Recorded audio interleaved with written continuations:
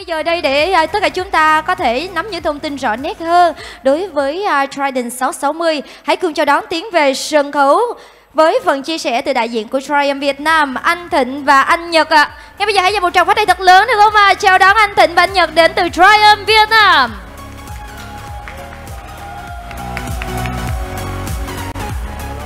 Alo, alo. Vâng, xin trân trọng kính chào toàn thể các vị khách quý, các anh chị em phóng viên, cũng như là những vị chủ nhân đầu tiên của Trident 660 và tất cả mọi người đang có mặt trong khán phòng của chúng ta ngày hôm nay. Tôi là Nhật và tôi là Thịnh. Chúng tôi, những đại diện kinh doanh của Triumph Motorcycle Việt Nam, rất vui và vinh dự khi hôm nay được đứng đây để chia sẻ với mọi người về một mẫu xe hoàn toàn mới của Triumph, chiếc Trident 660. Như mọi người đã biết thì không những nổi tiếng về những mẫu xe classic với khối động cơ Bonneville huyền thoại, thì Triumph còn được biết là cái nôi của khối động cơ 3 xi lanh với sức mạnh có thể bùng nổ bất cứ lúc nào, Đặc biệt là sự phản hồi nhanh nhạy mà khối động cơ này đem lại cho người lái. Điều này được chứng minh qua hai mẫu xe đầu tiên mà Triumph cho ra mắt với thiết kế trang bị khối động cơ 3 xi lanh trong lịch sử, đó chính là Triumph Trident và BSA Rocket 3 vào năm 1970 và tất nhiên hai mẫu xe này lập tức gặt hái được rất là nhiều thành công trong những cuộc đua ở châu Âu và ở Mỹ. Mẫu xe Triumph Trident năm 1968, Triumph cho ra mắt đã vô tình tạo nên một cột mốc mới, một tiêu chuẩn mới về một chiếc xe mô tô thiên về hiệu suất. Và đó cũng chính là bước thúc đẩy để Triumph phát triển khối động cơ 3 xi lanh của mình đến những cái dòng xe mà thời đương đại mọi người đã biết như Triumph Daytona, Speed Triple RS, Speed Triple và mới đây nhất là hai mẫu xe được tờ báo nổi tiếng nhất trên thế giới là MCN đánh giá là hai chiếc xe tốt nhất năm 2020 mẫu xe Cruiser Triumph Rocket 3 và mẫu xe Adventure tầm trung Tiger 900 Rally Pro. Vâng, và bắt đầu từ năm 2019 thì Triumph đã chính thức trở thành nhà cung cấp động cơ độc quyền cho giải đua Moto 2. Và ngay lập tức khối động cơ này đã phá vỡ hàng loạt những kỷ lục cả về vận tốc như về thời gian. Và điển hình chính là vượt qua được cột mốc 300 km/h lần đầu tiên tại giải đua này. Và ngày nay, như MC Anh Tuấn đã có chia sẻ, thì uh, thị trường mô tô phân khối lớn tầm trung hiện đang trở nên ngày càng sôi nổi. Và cùng với đó là sự gia tăng rất nhiều ở những mong muốn, những nhu cầu của khách hàng về một mẫu xe hoàn thiện về độ thiết kế cũng như là tính năng và công nghệ. Thì nắm được xu hướng này, Triumph Motorcycle đã ấp ủ, nghiên cứu và phát triển một dự án trong suốt 4 năm tại Hinkley. Và kết quả đó chính là tháng 8 năm 2020 thì bản prototype mẫu đầu tiên của Trident 660 đã được trưng bày tại Viện Bảo tàng Thiết kế ở London, Anh Quốc. Và không lâu sau đó, vào tháng 10 năm 2020, thì mẫu xe này cũng đã được chính thức giới thiệu đến thị trường toàn cầu. Và ngày hôm nay, Triumph Motorcycle Việt Nam chúng tôi cũng rất vinh dự được giới thiệu mẫu xe tuyệt vời này đến với toàn thể quý khách hàng tại Việt Nam. Và xin mọi người mời mọi người tất cả khán phòng này xin mời chú ý đến màn hình chính của sân khấu để cùng chào đón với chủ nhân của buổi lễ ngày hôm nay, Triumph Trident 660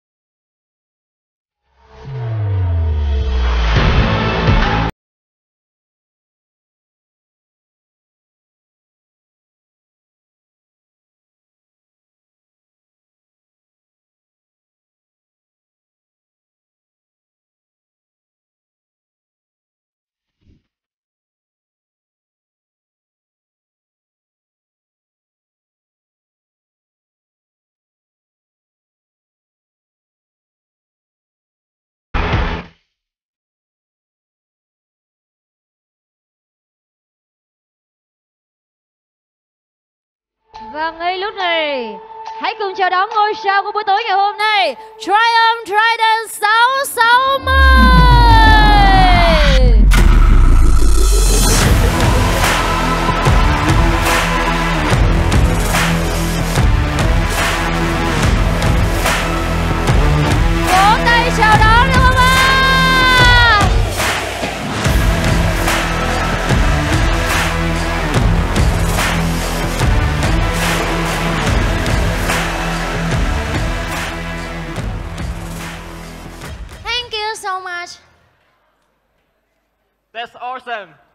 Thank you, Mr. David. Thank you, Mr. Orly, Mr. Anh Tuấn, and Mr. Vũ for bringing these beautiful bikes onto the stage today.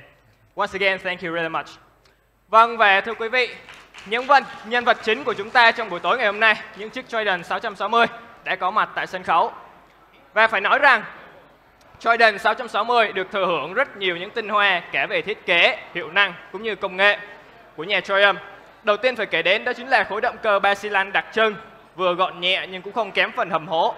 Với thứ tự đánh lửa 123 truyền thống thì khối động cơ này sản sinh một công suất cực đại lên đến 81 HP và đồng thời đạt mô men xoắn tối đa ở 64 Nm. Và theo như Triumph công bố thì hơn 90% lượng mô men xoắn khả dụng của chiếc xe này sẽ rơi vào giải vòng tua từ 3.000 đến 9.000. Điều này có nghĩa là Triumph sẽ, sẽ luôn sẵn sàng để bùng nổ sức mạnh của mình bất kỳ khi nào người lái vặn ga và muốn bứt tốc. Và đồng thời mọi người có thể thấy ở đây, cách nước của Trident được thiết kế khá là lớn. Điều này hứa hẹn một khả năng giải nhiệt cực kỳ tốt cho chiếc xe, vừa giúp giảm bớt sức nóng cho người lái, vừa đảm bảo độ bền và sự hoạt động ổn định của động cơ. Tiếp theo là phần khung sườn của Triumph Trident 660 được thừa hưởng khá nhiều từ những DNA của người đàn anh của mình là Triumph Stretchable AS tạo sự ổn định, đầm chắc cho và đặc biệt là đảm bảo tối ưu được tổng thể trọng tâm của xe. Tiếp theo đó, mọi người có thể thấy thiết kế gấp sau bản to có thể chịu lực được lực tốt nhất. Phần dè chắn bùn và bát biển số rời giúp cho tổng thể của chiếc xe có thể gọn gàng và thanh thoát hơn. Và đây cũng chính là những cái xu hướng thiết kế xe mới nhất mà Triumph Trident sở hữu. Phần phục trước và phục sau đều sử dụng từ thương hiệu phục cao cấp Showa. Phục trước với đường kính 41mm dạng upside down có thể tạo được sự đầm chắc khi chiếc xe vận hành ở tốc độ cao. Phục sau dạng monoshock có thể tinh chỉnh được trọng lượng bằng dụng cụ đi kèm theo xe, giúp cho người lái có thể dễ dàng điều chỉnh tải trọng của mình phù hợp với chiếc xe.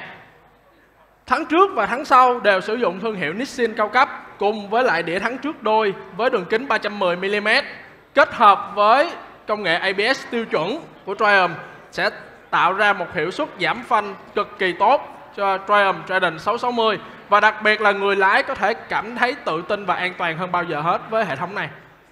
Vâng, và Trident 660 cũng được Triumph trang bị cho một bộ vành 17 inch bằng hợp kim nhôm, thiết kế 5 chấu rất là năng động và thể, thao, thể thao. Đồng thời, à, hệ thống lốp trước lốp sau của Trident cũng đã được ưu ái trang bị cho bộ lốp Road 5 cao cấp đến từ thương hiệu Michelin về đường kính lốp, kích thước lốp sau lên đến 180mm cung cấp cho Trident một khả năng bám đường cực kỳ tốt trên cả điều kiện đường khô cũng như là đường ướt. Và toàn bộ hệ thống chiếu sáng của Trident 660 đều là đèn LED. Ở đây, Trident cũng đã tích hợp một công nghệ rất là hiện đại, đó chính là Trident có khả năng tự tắt xi nhan sau khi ra khỏi cua hoặc khi chúng ta trả lái thẳng. Điểm tiếp theo của phần thiết kế của chiếc xe Triumph Trident 660 đó chính là phần đồng hồ, là sự kết hợp giữa LCD và màn hình TFT màu Thiết kế rất là gọn, phù hợp với tổng thể của xe nhưng vẫn đảm bảo hiển thị đầy đủ những thông số vận hành. Trên cùm bên trái ở cùm điều khiển của Trident 660, Triumph đã trang bị những cái nút điều hướng để đảm bảo cho người lái lúc nào cũng trong tình trạng tiện lợi nhất, dễ dàng nhất để hướng những cài đặt của xe và theo dõi những cái thông số hiển thị trên màn hình. Vâng, về đối với những khách hàng à, muốn tăng thêm độ tiện nghi, à, những công năng cho chiếc xe của mình thì Triumph cũng đã trang bị sẵn hàng loạt những phụ kiện chính hãng cho mẫu xe này. Đầu tiên có thể kể đến như là hệ thống sửa tay lái, quick shift hai chiều lên xuống, uh, cổng sạc USB, hệ thống bảo uh, các khung chống đổ, bảo vệ, ốp gầm, tay dắt và đặc biệt hơn đó chính là hệ thống kết nối Bluetooth My Triumph đã được thiết kế để tương thích sẵn với màn hình TFT của chiếc xe này. Nhờ đó người lái có thể kết nối trực tiếp camera GoPro, chụp hình, quay phim cũng như là kết nối điện thoại trực tiếp với xe để có thể thao tác tin nhắn, nghe gọi và đồng thời là điều hướng hành trình trên màn hình trực tiếp của Trident. Quá tuyệt vời phải không ạ? Ở và đây tiếp theo à, để nói đến lợi thế cạnh tranh lớn nhất của Triumph Trident 660 trong phân khúc đó chính là phần trang bị đầy đủ tất cả những công nghệ hỗ trợ cho người lái mà Triumph đã ứng dụng vào mẫu Trident 660 này và đó là bấm ga điện tử Ride by Wire hệ thống chống bó cứng phanh ABS và kiểm soát lực bản đường Traction Control Kèm theo đó là hai chế độ lái riêng biệt Ren và Road giúp cho Trident 660 có thể khiến cho người lái có thể tự tin chuyển đổi cái hệ thống vận hành của xe tùy thuộc vào cái điều kiện điều khiển của mình. Vâng, và bình xăng của Trident 660 có dung tích lên đến 14 lít, hứa hẹn sẽ cung cấp cho chúng ta những hành trình dài nhất có thể chỉ với một lần đổ xăng. À, trọng lượng tổng thể của chiếc xe bao gồm cả xăng và nhớt chỉ dừng lại ở con số 189 kg kết hợp với chiều cao yên là 805 mm. Có thể phù hợp với đại đa số mọi người sử dụng để chúng ta có thể dễ dàng kiểm soát, vận hành cũng như xử lý chiếc xe. Và như mọi người có thể thấy, anh Thịnh ở đây có chiều cao là 1m70 thì khi anh Thịnh ngồi lên chiếc xe, hai chân của anh Thịnh trống khá là thoải mái. Anh Thịnh có thể chia sẻ thêm một chút về cảm nhận của mình khi ngồi lên chiếc xe được không ạ? Điểm đáng chú ý nhất và cũng là đáng nổi bật nhất của mẫu xe Trident 660 khi mà lần đầu tiên bước lên xe đó chính là cảm nhận về cái độ êm ái của cái phần yên. Mặc dù được thiết kế theo form uh, hiện đại nhưng mà Triumph đã ưu ái cho người lái của mình bằng một chất liệu rất là êm ái với chiều cao 805mm chiều cao yên, chiều cao cơ sở thì theo ý kiến của mình những người ờ, đại đa số người Việt Nam người châu Á của mình với chiều cao chỉ từ 1m65 vẫn có thể khiển chiếc xe này một cách dễ dàng còn về phần tư thế lái thì anh định thấy như thế nào ạ? Thì như mọi người cũng thấy thì Trident 660 mang hơi hướng DNA của một chiếc xe thể thao. Có nghĩa là dáng người lái khi ngồi lái của mình sẽ hơi chồm về phía trước. Đặc biệt thì với Trident 660 mọi người có thể nhìn thấy dáng người của tôi khi mà ngồi lên xe. Thật sự rất là thoải mái Không quá chồm như những mẫu thể thao khác. Và đây cũng chính là cái điểm nổi bật giữa của Trident 660 cùng với những cái đối thủ cạnh tranh của mình. Và anh Thịnh có thể ờ, nghiêng xe qua lại để chúng ta cảm nhận được cái trọng lượng của chiếc xe không ha? Vâng, cảm ơn anh Thịnh rất là nhiều. Và tiếp theo đây, như mọi người đã thấy thì Triumph Trident 660 có tổng cộng 4 phiên bản màu. Và đây là màu đen bóng, trắng ngọc trai và phía xa ở màn hình chính đó chính là hai phối màu đặc biệt của Triumph Trident 660 là sự kết hợp giữa màu xám đỏ và màu đen mờ cùng với màu bạc. Và cuối cùng đó chính là mức giá mà Triumph Việt Nam công bố chính thức đối với mẫu Triumph Trident 660 đối với bốn cái phiên bản đó chính là 269 triệu 900 ngàn. Vâng, và như vậy là chúng ta đã vừa đi qua những thông số về kỹ thuật, về hiệu năng cũng như là những trang bị nổi bật trên chiếc xe Trident 660 hoàn toàn mới này. Không chỉ sở hữu một vẻ ngoài ấn tượng, lôi cuốn, đầy thể thao và nam tính, chiếc xe còn sẵn còn trở nên còn cung cấp cho người lái một sự cơ động, thoải mái và linh hoạt khi di chuyển trong phố cũng như luôn sẵn sàng để bùng nổ sức mạnh của mình trên những cung đường lý tưởng. Và với một mức giá bán hợp lý như vậy thì chúng tôi tin chắc rằng Trident 660 sẽ đem đến cho quý khách hàng những trải nghiệm trên cả mong đợi. À, và cuối cùng chúng tôi xin gửi lời cảm ơn chân thành đến toàn thể quý vị vì đã dành thời gian à, lắng nghe phần thuyết trình vừa rồi của chúng tôi. Chúng tôi, những đại diện kinh doanh tại Trident Việt Nam luôn ở đây để sẵn sàng hỗ trợ, tư vấn thêm cho tất cả mọi người và bây giờ, chúng tôi xin được phép nhường lại sân khấu cho MC để chúng ta cùng tiếp tục chương trình buổi tối ngày hôm nay. Xin chân thành cảm ơn. Vâng và xin được cảm ơn rất nhiều về những lời chia sẻ của anh Nhật và anh Thịnh ạ. À.